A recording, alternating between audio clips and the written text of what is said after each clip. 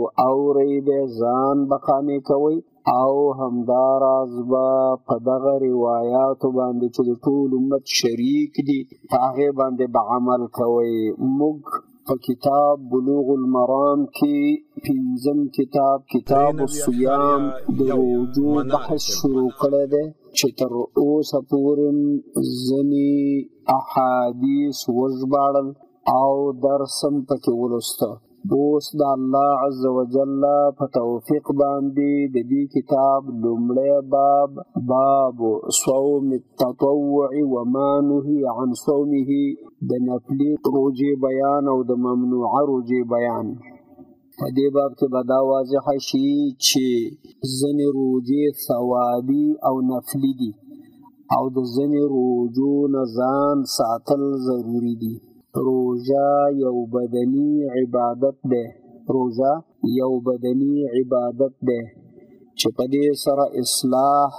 د نفس راتلی شي د الله سبحانه و تعالی دی فضل او کرم ته وګوره او فکر فکر وکړه مسلمانه چې د هر فرضي عبادت په څنګ کې نفلی عبادت هم را لېږلی دی فرض مونځ شته نو ورسره نوافل شته فرض زکات شته ورسره صدقات او خیراتونه ایستل شته فرض عمره او حج شته ورسره نفلي طوافونه نفلي عمرې او اضافه حجونه شته همداراز د روژې مبارکې حال دی چې روژه د رمضان المبارک فعاقل بالغ مسلمان چې روغ او صحتوري په وطني په هغه باندې چې هیڅ مانع ونه لري روژه فرض ده نو فرضي روژه رب العالمین را لېږلې ده او په کتاب الله په سنت د رسول علیه الصلاۃ والسلام او په اجماع د امت باندې ثابت ده د دې فرض روزي سره څنور روزي دي چې هغه نفلي روزي او ثوابي روزي دي چې کله بنده مسلمان د حساب کتاب په میدان کې پاتې او کمزورې راشي او د ده په فرایضو کې نقصان وي نو صحیح حدیث کې راځي چې الله ملایکو ته وایي الله ډېر ښه خبر دی خو ملایکو ته وایي چې زما د دې بنده تاسو نفلي عبادات وګورئ که په فرضو کې نقصان او کنډو دی نو وګورئ چې د ده د فریضې سره سره کوم نفلي عبادت شته که نشته نو مثل تو مثلا که د چا نه فرضي روژه په ځنې اعمالو باندې زخمی شوي وي ثواب یې کم شوی وي نو دغه خانه او دغه کور د ثواب ډکیږي په نفلي روژه باندې په نفلي روژو کې هم دغه فایده ده چې د بنده مسلمان فریضه روژه او فرض روژه چې دا دا د هغې لپاره تکمیله حسابېدی شي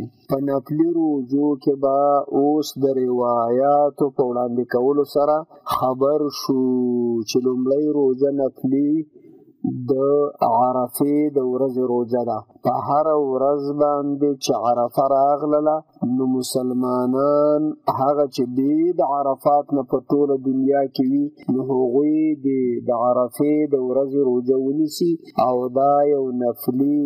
ثوابي روزه ده خو ثواب یې د حد نه زیات دی لکه پنځه سوه دوه پنځوستم لمبر حدیث پنځه سوه دو پنځوستم لمبر حدیث عن ابي قتاده الانصاري رضي الله تعالى عنه او روایت ده د ابو قتاده انصاري رضي الله عنه نه چې الحارث ابن ربعي نومېده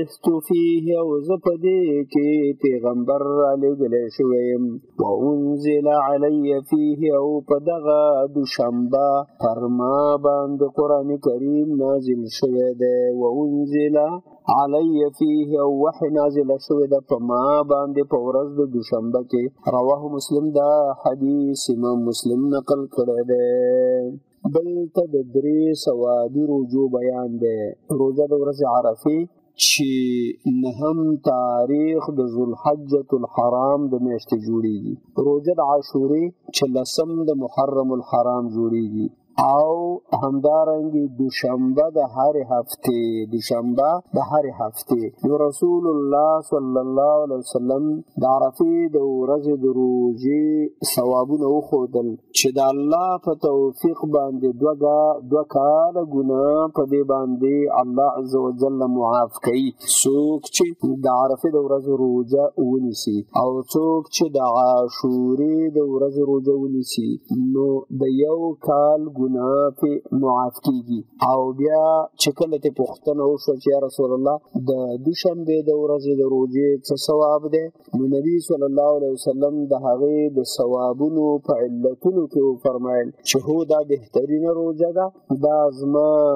د پیدایش د ورځې سره برابر ده زه په دوشنبه پیدا شوم په دوشنبه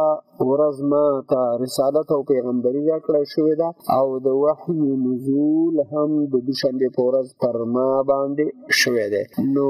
دا حدیث په مجموع کې په دې معنی دلالت کوي چې ثوابي روزې د ثوابونو نه خالی نه دي نفلي روزې د ثوابونو نه خالی نه دي او دا ټول اجرونه او ثوابونه لري د دې وجه نه هر مسلمان لره پکار دي چې هغه د عرفې د ورځې روزه ونیسي په هر ورځ چې عرفه راشي جمعه وي او که خالی وي همدارنګه د عاشورې د ورځې روژه دې هم ونیول شي او هره دوشنبه او پنجشنبه روژه نیول هم یوه سنت طریقه ده چې الله عز وجل په مؤمنانو له ثوابونه ورکوي ورسېدلو پنځه سوه درې پنځوستم لمبر حدیث ته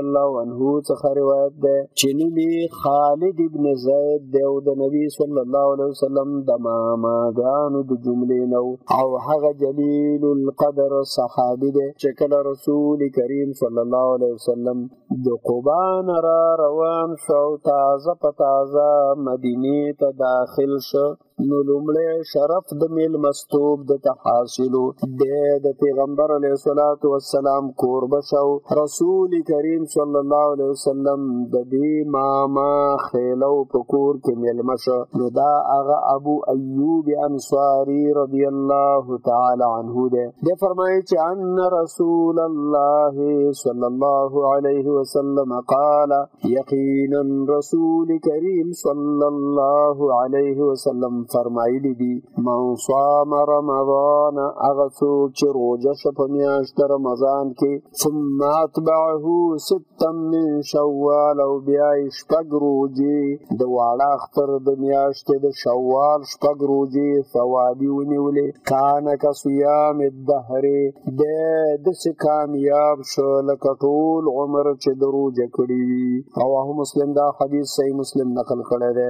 مفهوم د حدیث داسې دی چې رسول کریم صلی الله علیه وسلم فرمایي څوک چې ټول رمضان روزه پاتې شو روزه یې پوره کړله په میاشت روزې کې بیا وړوکی اختر تیر شو بیا یې د شوال المکرم شپږ روزې ونیولې نو دونه ثواب یې وشو لکه ټول عمر چې دی روزه شوی وي وجه دا ده چې یوه میاشت روژې یې د رمضان ونیولې یوه نیکي په لسه باندې ده نو داسې شوله لکه لس میاشتې د کال چې د روژه کړې وي او بیا چې شپږ دانې روژې د واړه اختر ونیولې نو شپږ له شپېته داسې شوه لکه شپېته روژې چې نیولي وي هغې نه دوه میاشتې جوړېږي دوه میاشتې او لس میاشتې دولس میاشتې شوې او کال دولس میاشتې دی نو چې کوم مسلمان بختور د روزې مبارک میاش روزه پوره کی او بیا همت کی او بیا د واړه اختر د میاشت شپږ روزي ونیسي نو ټول عمر به الله د روزدار حساب کې او د روزدارۍ ثوابونه به ورته نصیب کاندي نو دلته موږ د څلورم قسم سوادي روژې نه خبر شو چې هغه شپږ روژې د واړه اختر د میاشتې دي دا مبارکې روژې سمې د واره په واړه اختر پسې په دویمه ورځ هم صحیح دي دویمه درېیمه څلورمه پنځمه شپږمه اوومه دا هم صحیح دي په اوله ورځ د لوی اختر واړه اختر خو روژه حرامه ده او بیا په دویمه باندې د واره مسلمان روژه کېدلی شي بیا یې که مسلسل شپږ واړه یو ځل نیسي او که داسې کوي چې یوه ورځ روژه کېږي او یوه ورځ بوزه کېږي یا دوشنبه او پنجشنبه کې دا جوړوي دیارلسم څوارلسم پنځلسم کې جوړوي مراد روجی نیول دي چې د واړه اختر په میاشت کې شپږ روجی پوره کاندي چې د واړه اختر په میاشت کې شپږ روجی پوره کاندي نو بس د ثواب وشو نو څلورم قسم نفلی روجا شپږ روجی د شوال المکرم یا د واړه اختر د میاشتې روجی نیول دي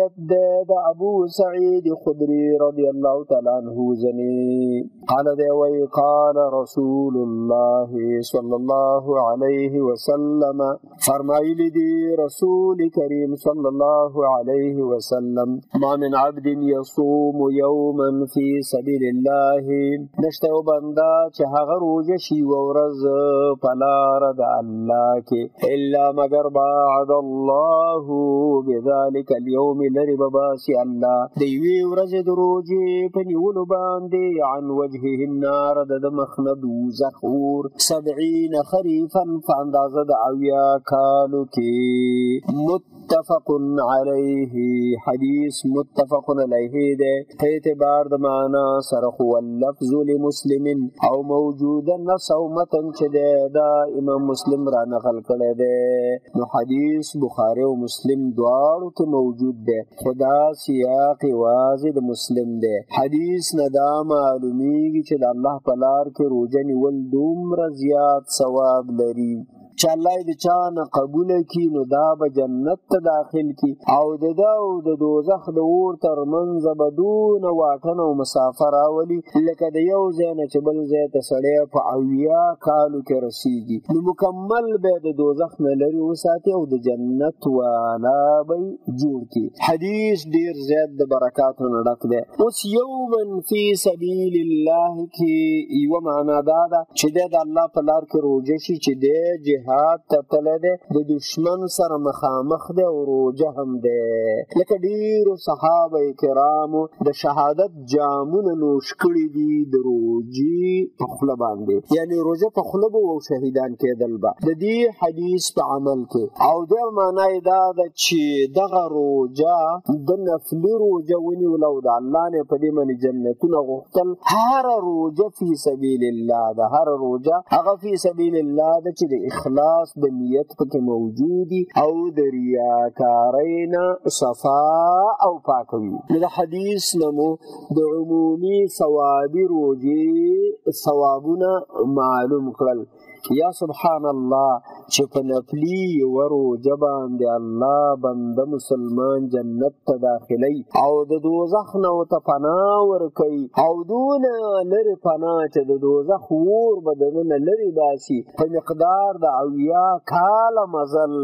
نو څه فکر دی د هغه مسلمان په حال باندې چې هغه پنځوس شپېته کاله روژې نیولي او فرضي روژې نیولي وي چې په ثوابي روژه کې جنتونه دي نفلي روژه کې جنتونه دي نو فرضي روژه به څونه قدرمنه وي رب العالمین ته د دې وجه نه بختور او کامیاب عاقل من هغه خلق دی چې هغوی روژه په ډیره خوښۍ او خوشحالۍ باندې نیسي روژې د میاشت رمضان روژې نیسي او ډیر د الله عز وجل نه راضي وي او بدبخت او ناکام هغه خلق دی چې د الله بندګۍ ته سا خفوي کله ځان ته خیره او کنځلې کوي کله نورو ته کوي او د سهار نه تر ماښامه پورې یا ودی او یا په لهو لعب او ساتیرۍ او دارنګې په ډمچورۍ او په نورو منکراتو باندې اخته وي نو د داسې انسان د روژې الله سره قدر نشته د هغه مسلمان د روژې الله سره قدر دی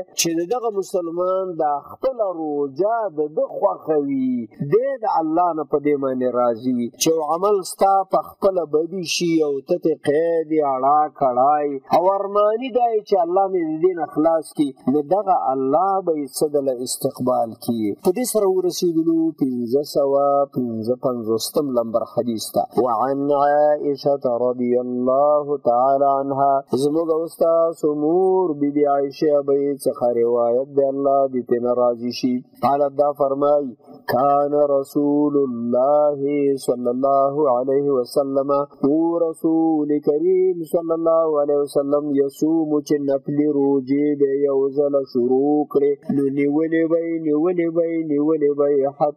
تا نقول لا یفتر تر دې چې موږ به د ځان سره دا فکر کاوو چې ګنې نبی کریم صلی الله علیه وسلم لکه چې ټول عمر نور روجي نیسي او روجه به ماته نه کي ویفتر او کله به سوادي او نفلي روجې نه نیولې بوزه به و بوزه به و بوزه به و تر دې حتی نقول موږ به د ځان سره ویله لا یصوم لکه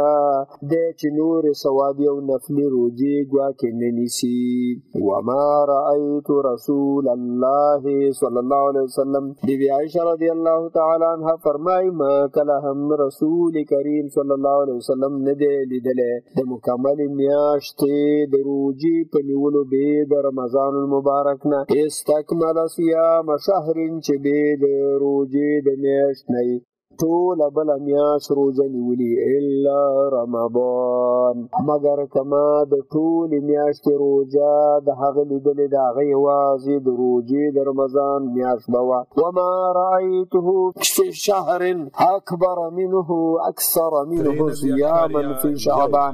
او ډیر زیات چې ما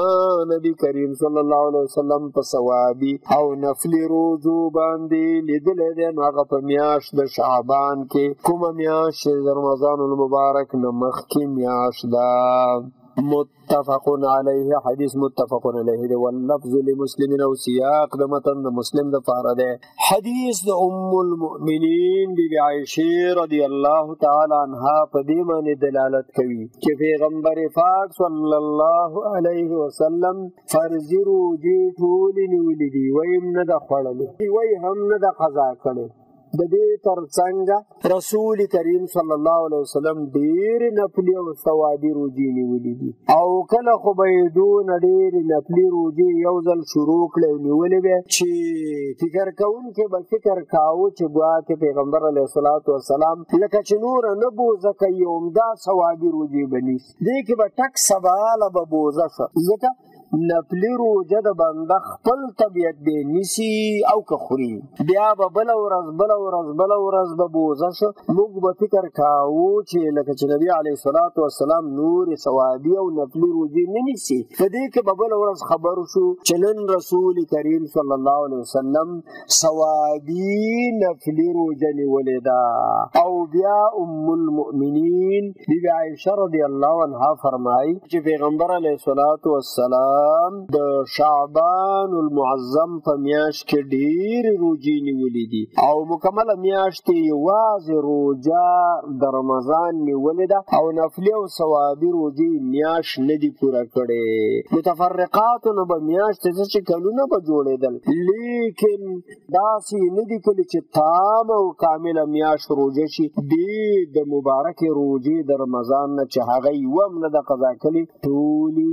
نیولې دي د دې حدیث نه فضیلت د شعبان د روزو ثابت شو البته که حدیث صحیح دی چې کله شعبان نیمه ته ورسیږي تاسو روزي منی سي نه دا حکم د امت د فاره دی او شان د رسول کریم صلی الله علیه وسلم په ځینې اختصاصي او ځانګړو مسایلو کې بدل و د شان د عموما امت نه نو امت باندې پابندي وه چې تاسو د رمضان المبارک د راتګ نه مخکې پنځلس ورځې مخکې روژې بندې کړئ روژې مه نیسئ او چې کله رمضان راورسېد بیا خو به هغه خامخا نیسئ خو په خپله رسول کریم صلی الله علیه وسلم دغه میاشت چې د روژې نه مخکې میاشت ده هغې کې ډېرې زیاتې روژې نیولې دي ورسېدلو پنځه سوه شپږ پنځوستم لمبر حدیث ته وعن ابي ذر رضي الله تعالى عنه دا ابو ذر غفاري رضي الله عنه څخه روایت ده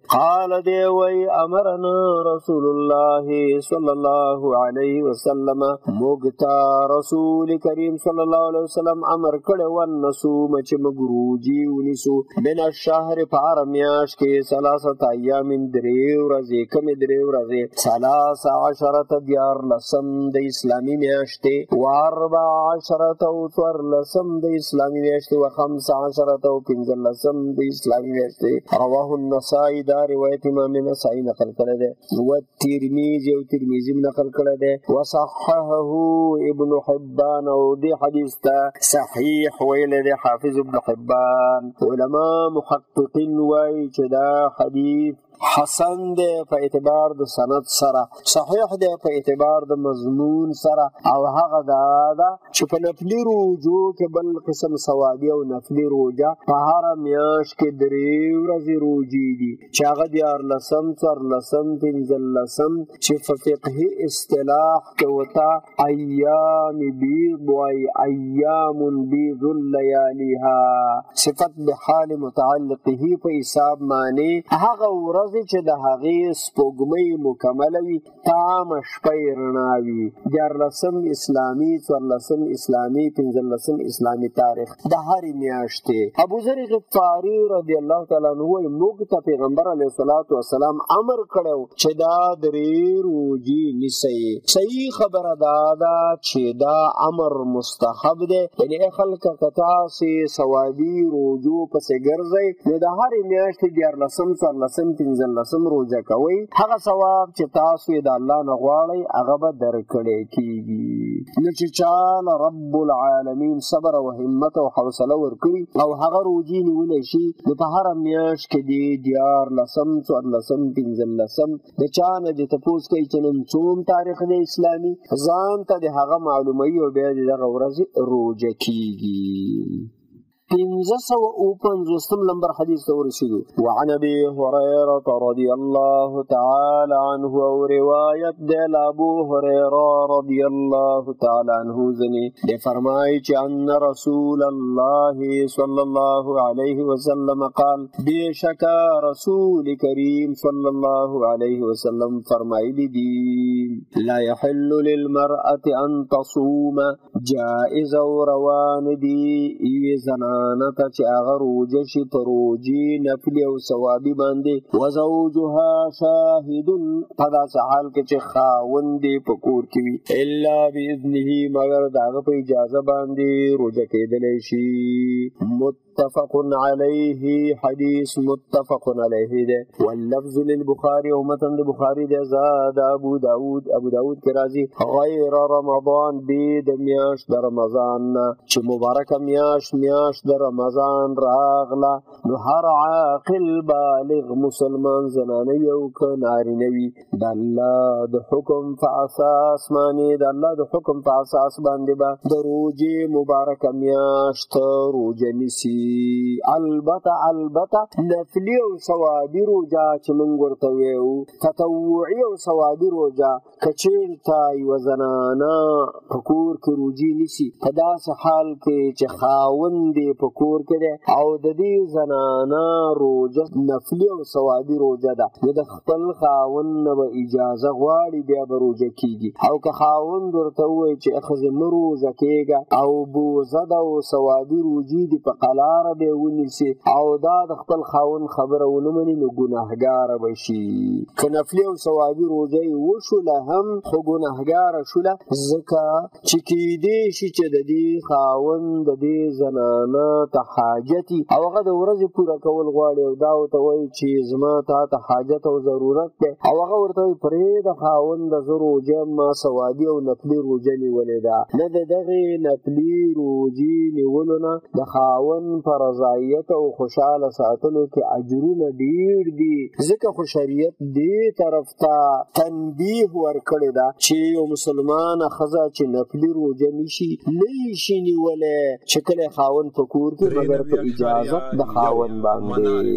آ که زنانه ته قضایي روزي پاتې وي او هغه راوړي یا د نظر روزي یا د کفاري روزي وي او یا نور فرضي روزي وي چې د پزان لازمي کړی وي او دا روزه نشي او خاوند ورته وایي چې نه نه تا ته اجازت نشته روژه به نه نیسې نو دا بېچارهګۍ به څه کوي دا قرضې او فرضي روژې به کله پوره کوي دا د کفارې روژې به کله پوره کوي نو خاوندانو ته هم نصیحت دی چې د لوی الله نه ویرېږئ په خپله خو روژې بې د رمضان نه نه نیسئ او هغه د رمضان روژې هم ټولې په ناولې خوله نوسارۍ خوله باندې او د نشو په خوله باندې نیسئ نو پرېږدئ زنانه مخلوق چې د روجو ډېر طرفدار دی زنانه مخلوق او همت ورسره زاپه دی پرېږدئ چې هغوی روجه شي او ستاسو په کور باندې د رحمتونو بارانونه راوورېږي ځکه روجهدار په کور کې د الله رحمت دی نو که نارینه هغه نفلي روژې نه نیسي نو زنانو ته به اجازت کوي چې تاسو خو روژې چې نیسئ زموږ د طرفه تاسو ته مکمل اجازت دی شریعت د دواړو خیال ساتلی دی که زلمی واده والا هغه خدماتو ته ضرورت ولري او دغه خدمات نه ادا کېدی شي مګر د خپلې پیغلې بیبي څخه ادا کېږي نو دا باید نفلي روژې وروسته کې او د خاون خدمت ته ملا وتړي او که چېرته یو پیغله روژې نیسي او خاوند یې منع کوي نو دا هم ښه نه کوي بلکې د الله حکم دا دی چې وتعاونو علی البر والتقوا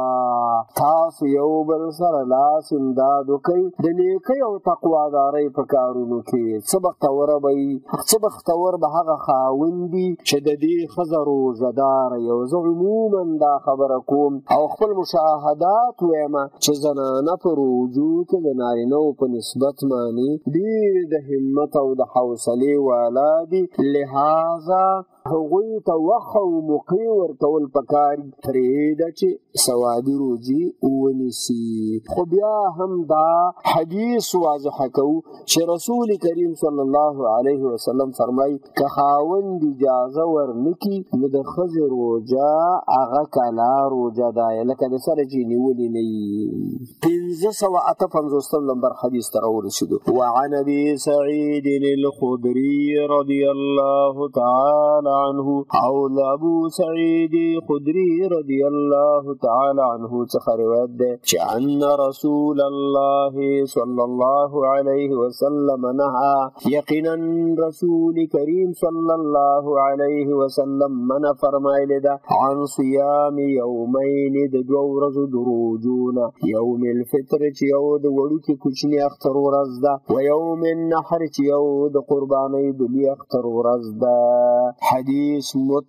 متفق علیه ده په دې باندې دلالت کوي چې د وړو کې اختر په ورځ باندې روزه حرام ده او د لوی اختر په ورځ باندې هر قسم روزه نیول غ ناجایز او حرام دي